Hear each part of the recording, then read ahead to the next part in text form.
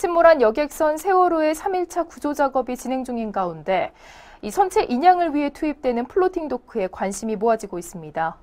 플로팅 도크는 이 바다 위에 바지선을 띄우고 이를 고정시켜 대형 선박을 건조하는 작업대인데요.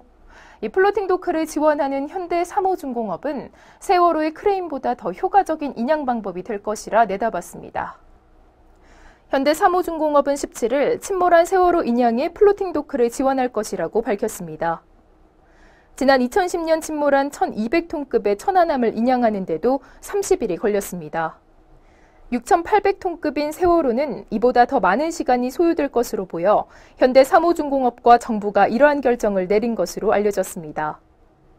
플로팅 도크는 바다 위에 바지선을 띄우고 이를 고정시켜 대형 선박을 건조하는 시설입니다.